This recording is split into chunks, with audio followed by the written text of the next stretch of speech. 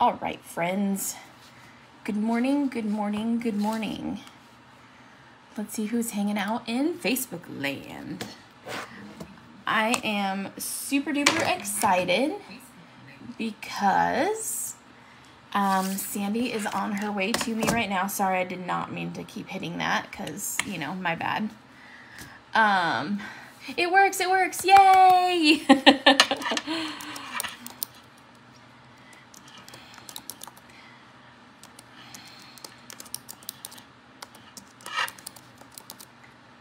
Ooh.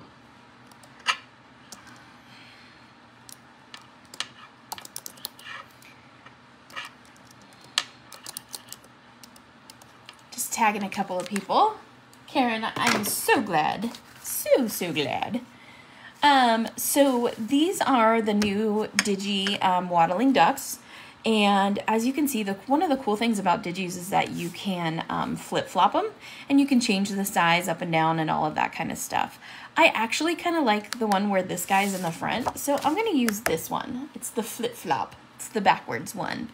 Thanks, Natalie. So um, I'm going to start, I know you guys want rainbow ducks, and so I'm just going to start um, coloring because I don't have a super long time before I have to go to the airport and get my Sandy Ledoux.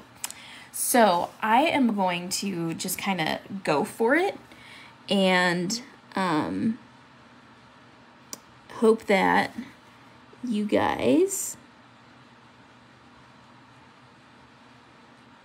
um, pop in and catch it. I'm to hope that I can get through all of it. That's another thing. Um, I know, he looks like a super happy little duck. They are super happy little ducks. So when doing things rainbow, um, you have to think in terms, you gotta, you gotta think just a little bit differently. Um, I, when I do things rainbow, I really think about where my shadows belong. And you can't so like I can't take this red and continue to shadow on this side because that's not really how it's gonna work out. So you have to be kind of careful about where you're going with your shadows and how far you're going with your colors. So you have to go shadow, light, shadow kind of thing. And so I run like back and forth. So I do jump around a lot.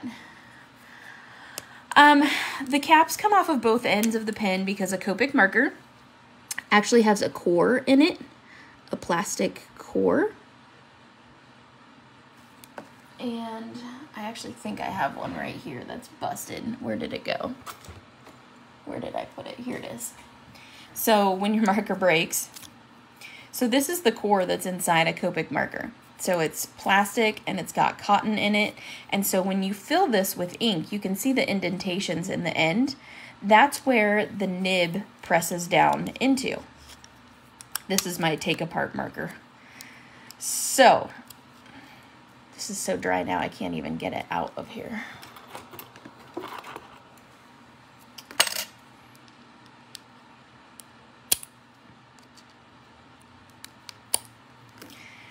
So when you put your nibs in your markers, oh my goodness.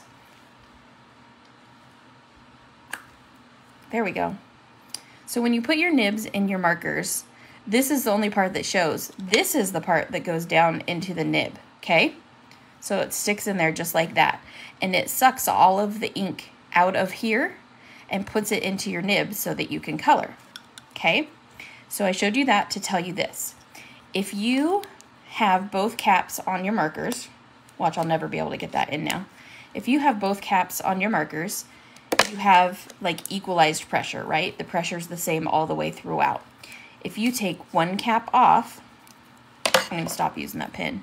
If you take one cap off, then all of the ink is going to go to the point of least resistance. So it's all going to come out this end. So it's going to go onto your paper and you're not going to have control over how fast your ink comes out. But if you take both caps off of your markers, it equalizes the pressure within the barrel. And so now there's air circulating through the whole thing. and it makes it so that you don't get big blobs on your paper because now not all the ink is running to this point, it's running to both ends. It's equalized. So um, it helps you prevent, it's like a super long way around of telling you that it helps prevent getting blobs on your paper. Also, a super geeky, more scientific thing is that your hands are warm and the ink inside the barrel of your marker is not. So when you put your hands on your marker, it warms up the ink inside. And when you make something warm, the molecules go faster. And when those molecules move faster, they need somewhere to go. If they're moving slow like this, they can just hang out where they're at. But if they're moving fast like this, they need somewhere to go. And if they don't have anywhere to go, guess where they where it goes? Right out of the nib. So, with that being said, if you have super hot hands and you noticed that you keep getting blobs on your markers or on your paper, on your coloring, you might want to have like an ice pack on your desk or you might want to take breaks in between your coloring and let your marker cool off for a second or let your hands cool off so that you stop getting blobs on your paper. And this, my friends, is what I mean by I color from a very different approach.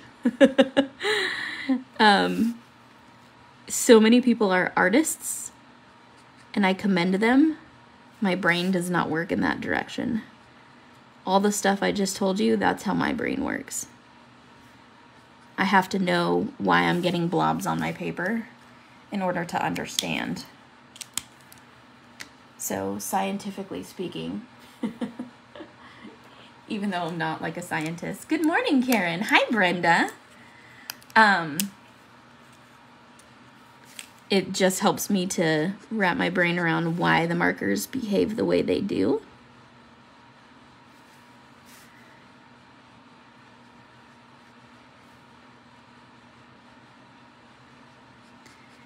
And that's why I take a very different approach to coloring than most people.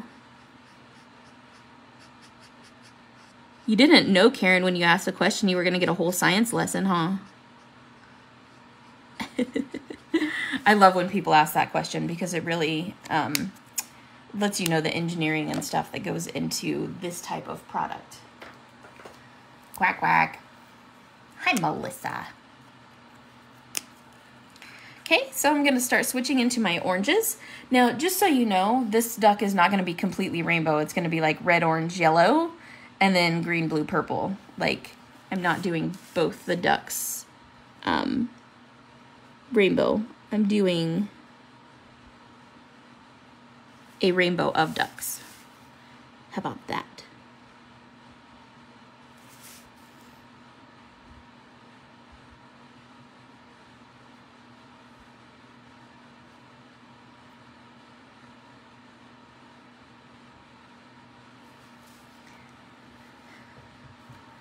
right? Quack, quack.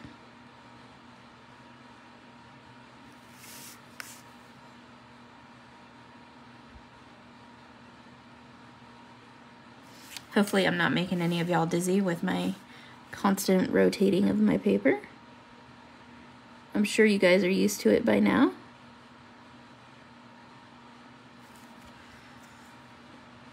Not a whole lot to do with that super dark orange.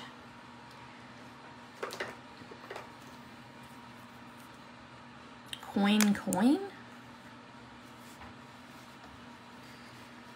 It must be pronounced differently in French. Just saying. I don't speak French at all. One little iota. I speak no French whatsoever. I speak Spanish. I know sign language. I speak radio code. I speak zero French.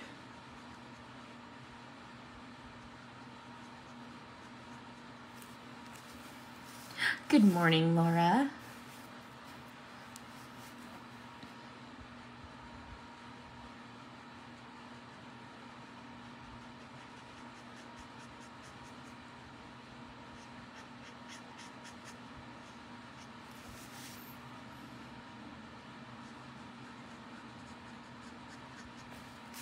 Okay, I'm spending some time putting some ink in between this red and the orange so I can really marry those colors together.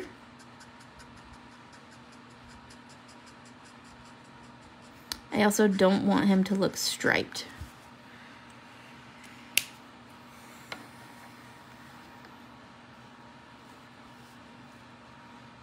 Oh, you did a live in English? Good for you. You guys, I'm super excited. I get to go to the airport and get Sandy. Yay! I'm hoping that I can finish these ducks in time that I can stop by Dutch Brothers and get her her favorite drink. On my way to the airport. It all depends though. Depends on how fast I can get this done. As you notice, I am coloring a little bit faster. Um, number one, because I want to go to the airport and get Sandy. Um, but number two, this is more my normal speed of coloring.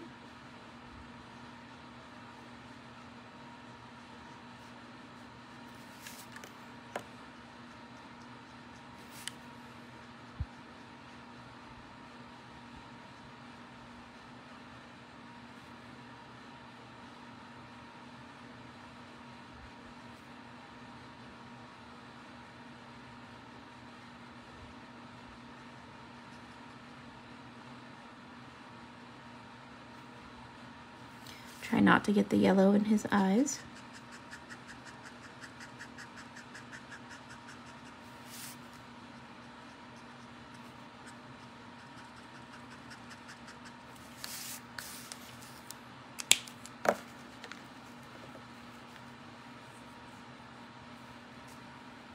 What sticker?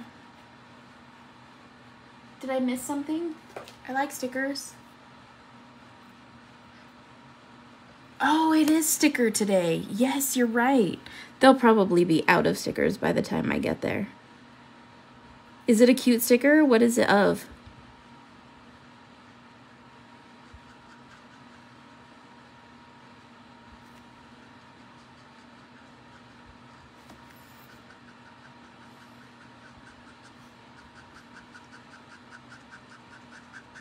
I always forget about the stickers on the first because I'm not super big on Dutch. I don't so I like coffee and the Dutch uh, blend of coffee is um, not bitter enough for me. It's very soft. And I like coffee that punches you in the face. It's like, bam, coffee.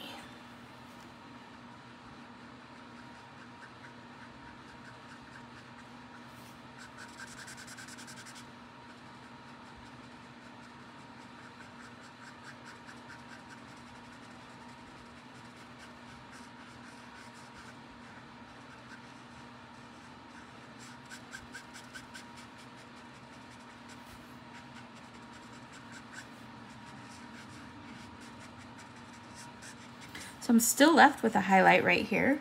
And he probably looks a tiny bit stripy on camera.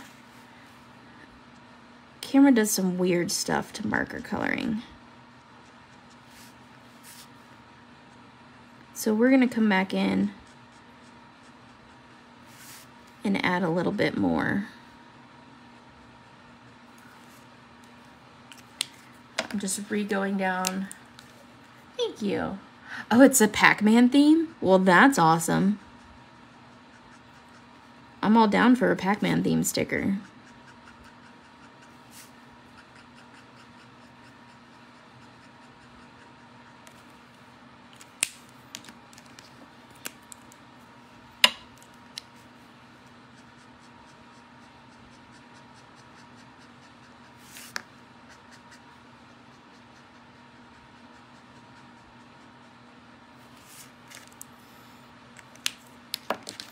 And I skip the darkest color when I go back through.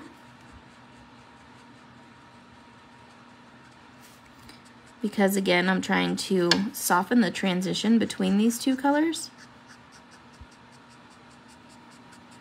And so I don't want that super dark color in there.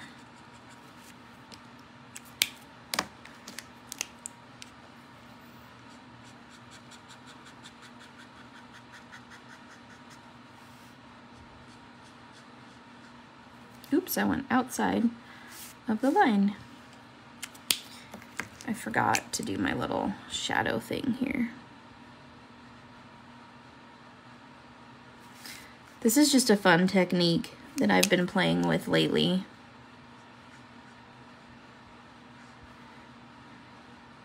Um, especially when I'm doing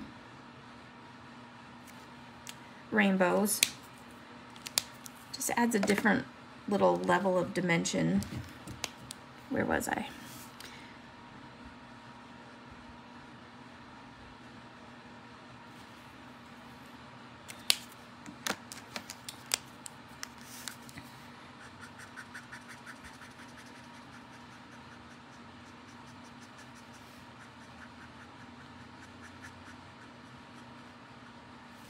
Yeah, this little duck looks super duper happy.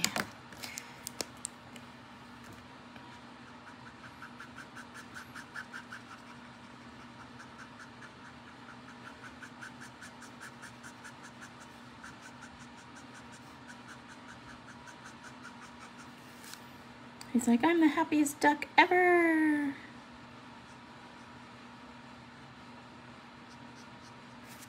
Yes, I talk to the things that I color. Thanks, Karen. I got all kinds of Karens here this morning.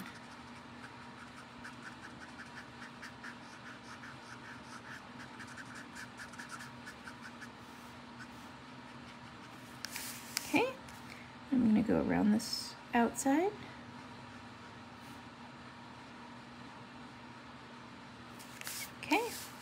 And I will come back and do their beaks and their feet later at the end. Okay.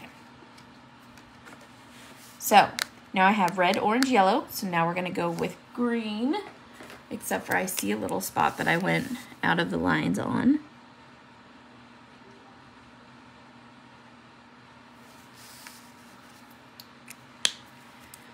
Okay.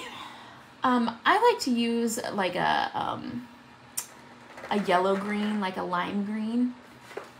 I don't know why, but it always um, just makes me happier. so I'm going to start with my YG67.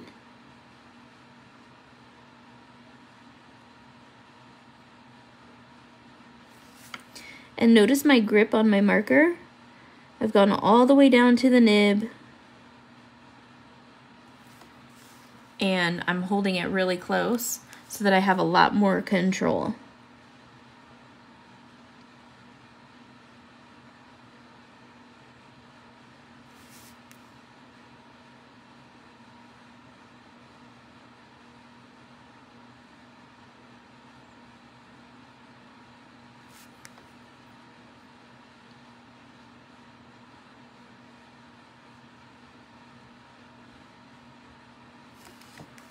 Okay. Um, after 67, I will go 25.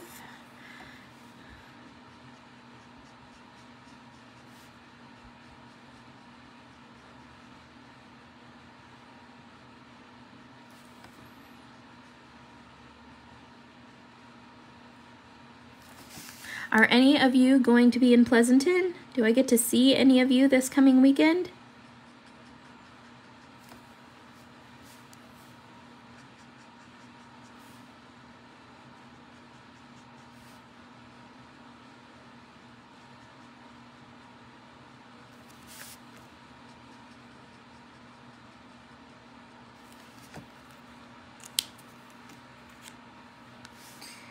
Okay, and then after 25, I like to use, do I want to go to 23?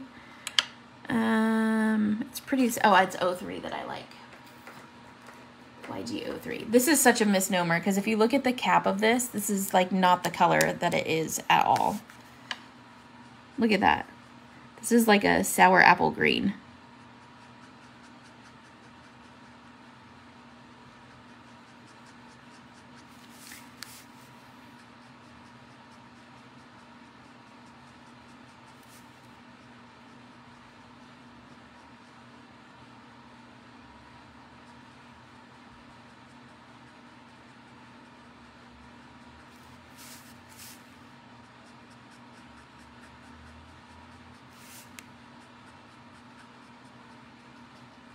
Doesn't that screen remind you of a Jolly Rancher?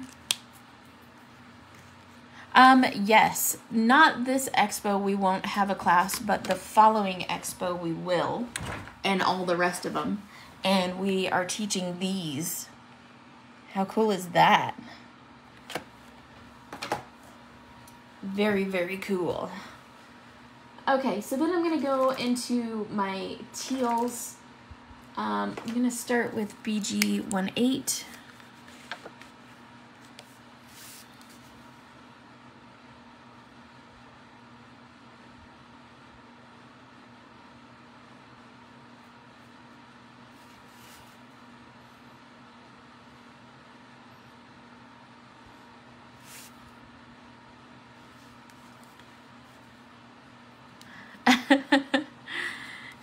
You always learn something with me. That's awesome.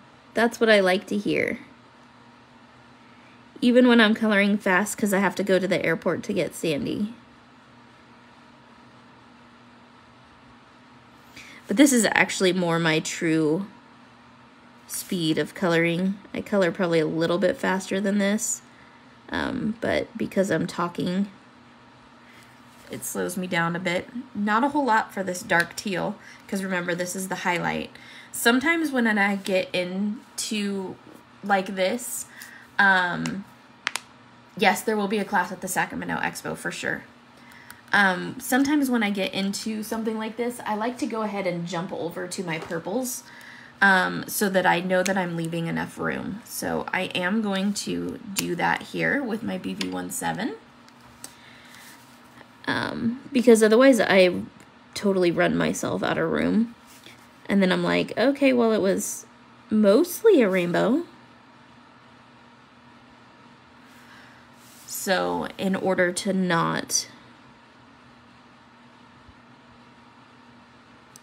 do that, I go ahead and switch over to the purple.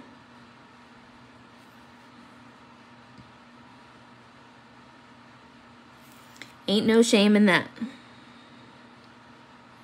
Yay, I'm so glad that you're excited.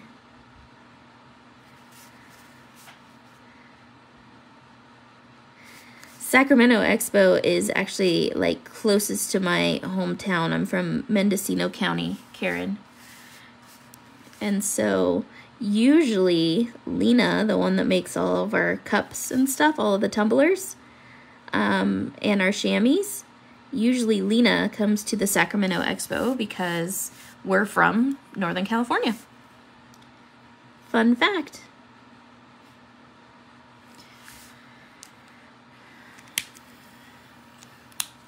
Shame. What shame? Do I have shame? Should I have shame? Um, I got I got um my my package yesterday, Marianne So excited to color that. And I got some of your paper that you requested. Yeah, ain't no shame in my game.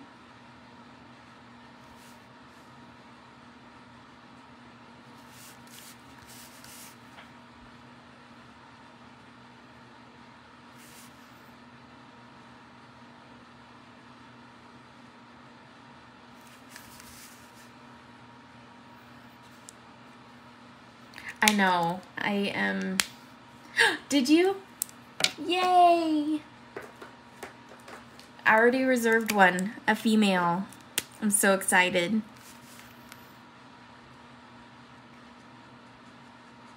We have puppy cohorts going on. Because you know the, the little puppy that my mom got, Bo? Um, that's so stinking cute. Oh my gosh, they brought him over yesterday and they got him groomed and he is the cutest little nugget ever. He's so cute. Even Archie got down and started playing with him, Marianne. So we told my mom he needs to stay groomed all short like this. Um, but anyways, his Bo's parents are gonna have another litter. And so hopefully we can get Marianne a puppy out of that litter.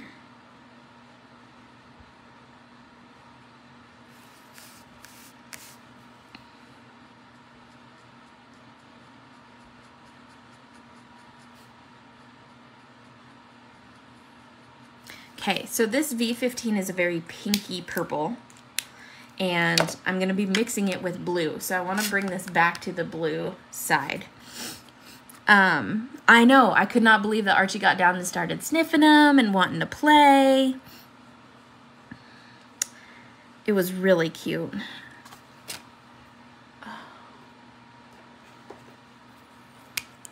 They even ran outside together and Archie ran circles around him. It was adorable. So maybe they will be friends after all. As long as my parents keep him groomed. Maybe Archie is very discerning. He likes his friends to be well groomed. He's like, look, if I have to get groomed.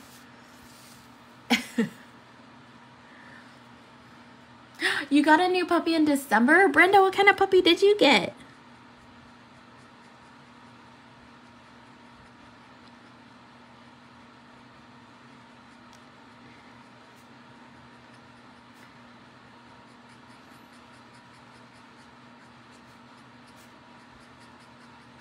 Okay, so there's the purple side of the duck. So now I'm gonna go back into those blue greens. Sparky comments about the well-groomed one, yeah. Archie, Archie likes his friends to be well-groomed. He's not a fan of the not well-groomed puppies, apparently. But Bo was very happy that Archie was willing to play with him.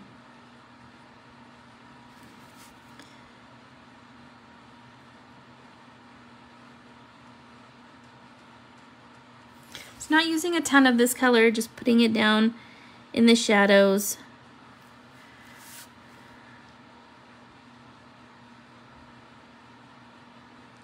I gotta watch my time. Can't be late to be picking up Sandy.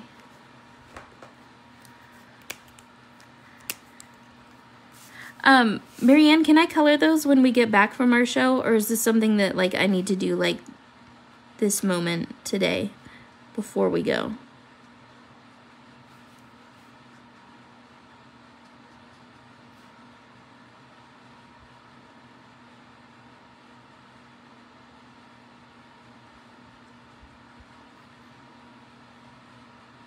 And don't worry, I know that this looks kind of weird.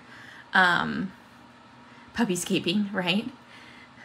you got a Weimaraner? Ooh, awesome. Okay, cool. Thank you. I really appreciate that. Those are super cool. I expect photos. My uncle had a Weimaraner named Jenny. She was gorgeous. And she was so sweet. I loved Jenny.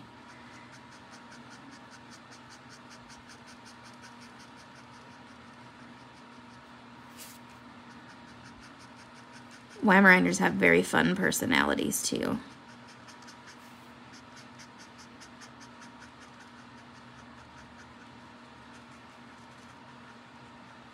They're just sweet.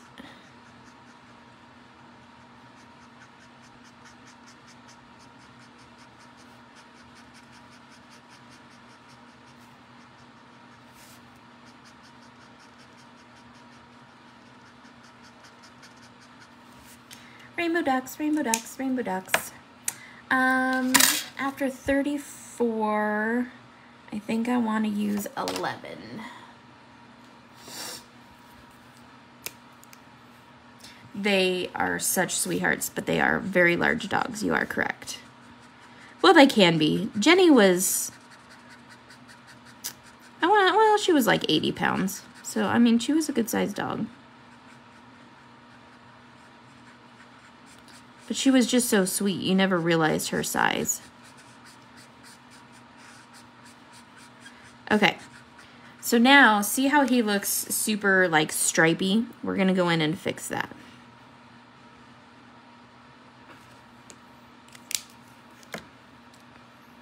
Go back to my greens. Yeah, they are very smart dogs. Exceedingly smart dogs. Like, sometimes too smart for their own good dogs.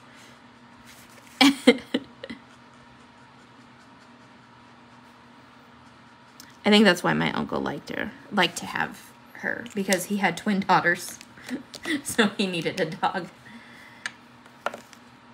But our first big, oh, she's your first big dog. Anybody else have big dogs? I want a Doberman super bad, and my husband won't let me have a Doberman.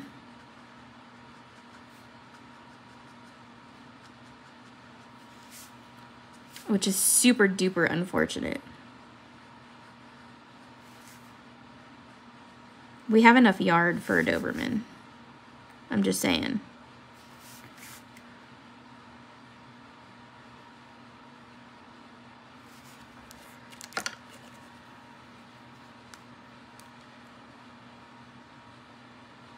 What are you even talking about? Oh, a throwback breakfast. I was like, what are you talking about, Marianne? Is your coffee broken this morning? And notice I'm just going back and forth between the colors to layer them up, marry them together so that they fade nicely into one another. I know.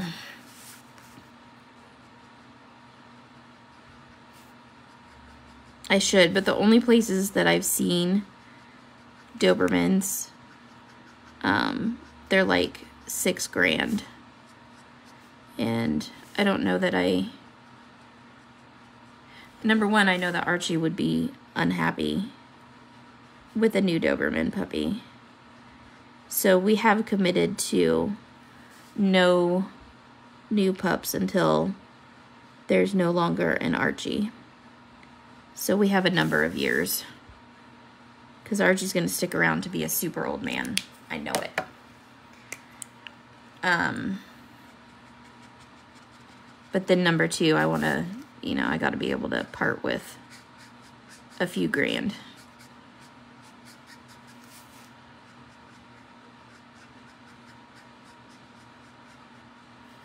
And I'm pretty sure I'm going to have to go to California to get my Dobie. There's a place in Rohnert Park or Sonoma that has Dobies.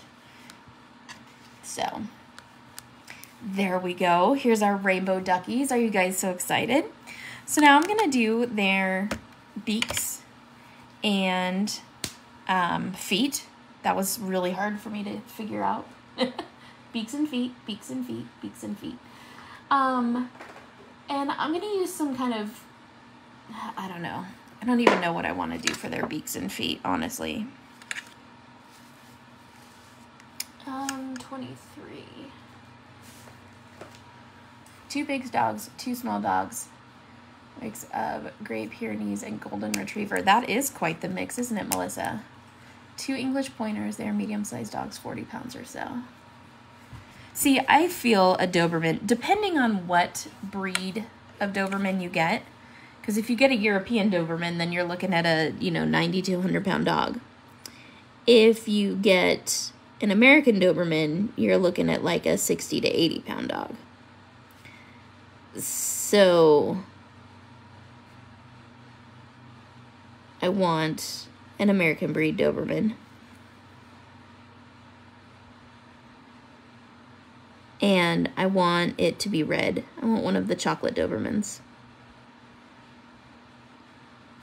I love the silver ones and the white ones, but they have so many health issues because that color's been bred into them. Um, and it's not healthy. So, but I like big doggies. Pomeranian of 14 and a half years June, so that's why we got it. Oh, How sad. We lost our Gizmo dog and we had him for 15 years. And he was purebred Yorkie. We lost him on my child's 13th birthday. How horrible is that? It was so sad. So, so sad.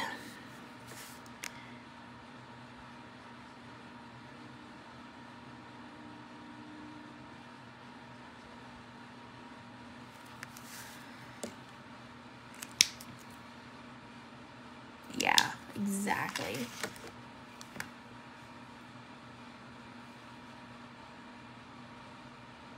It was it was such a crush when Gizmo passed. It was it was bad. It was bad. I think everybody knew him, you know? And that was part of why it was so crushing. Um, because he'd been around for so long. And yeah. I think hella people cried when Gizmo passed. I know Marianne did. Oh, on Father's Day. Ugh. We just, we felt so bad for Evan because, I mean, we had had Gizmo longer than Evan. it's pretty weird when you have your dog longer than you have your child, you know? And so, um, Gizmo used to, like, sleep in Evan's bassinet with him. And he, Gizmo actually told me when I was going into labor, he did all kinds of crazy stuff and was, like, pawing at my belly and everything. Like, he totally knew that I was going into labor. And from the get go, yes, Melissa, it is so hard. Right? I did, uh, yeah, it was really hard. It was really hard. Um, he was with me constantly. Like, Archie's always with me. I mean, Archie is a trained therapy dog, so he can sense my panic attacks and stuff. We actually got him for Evan because my son has Asperger's.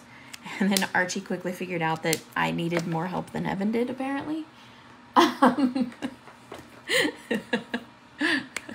so um, now Archie hangs with me 99% of the time.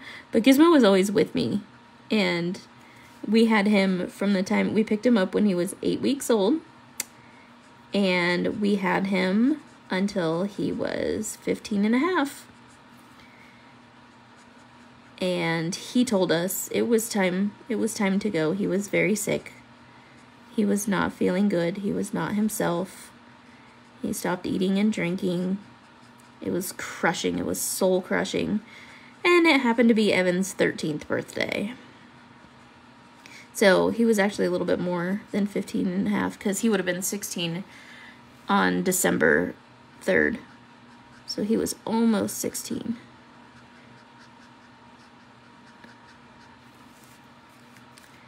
All right. It is, it's so incredibly hard to lose our fur babies, let me tell you.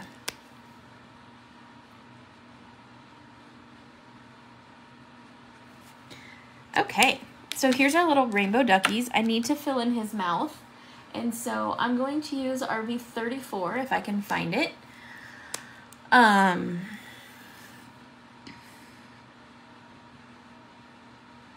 I was so sad about Mr. Wilson too, though. Marianne.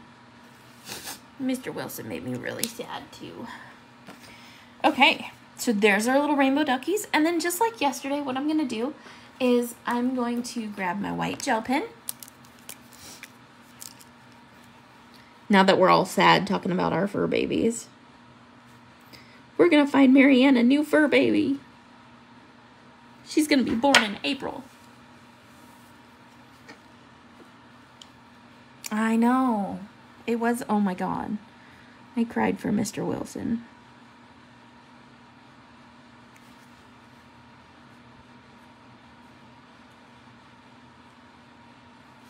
I think I cry more when pets pass away. Although I did have a really terrible episode, um, not yesterday, but the day before, over my brother. I thought I was doing really well with the whole grief thing. And then, out of the blue, out of nowhere, I spend like two hours crying because I miss my brother and I want him to come back.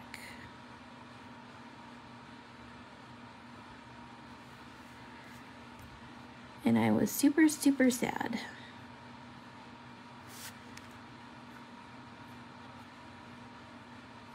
COVID makes me cranky.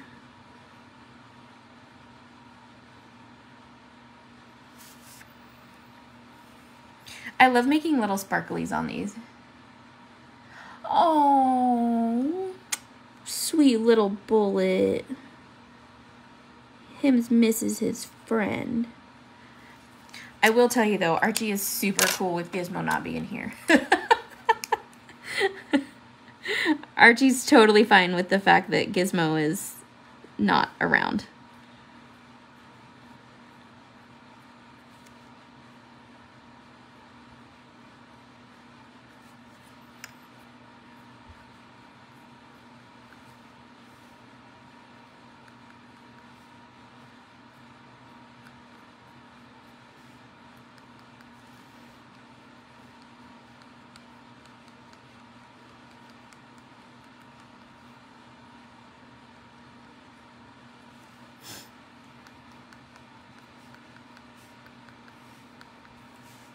Aw, look at those little ducks. Yeah, we lost him in October to COVID. Look at those cutesy little duckies. Thank you, Brenda. Um, I have his handcuffs sitting right here. Um, he was my sergeant. And so um, I got his handcuffs. And so when I'm sitting here thinking, I play with them um, all the time. So they sit right here and they, they're next to my markers. I hold on to them. Um, so there's our sweet little duckies. And thank you guys all for joining me. And um, I'm going to, I think I have time to run to Dutch Brothers and get Sandy her favorite drink. And then I'm headed to the airport to get my bestie. Yeah! And then we're headed to California bright and early in the morning. So um, I'm not sure if there will be a live this evening, but we shall see. So thank you guys for joining me, and I'll see you all very soon. Toodles!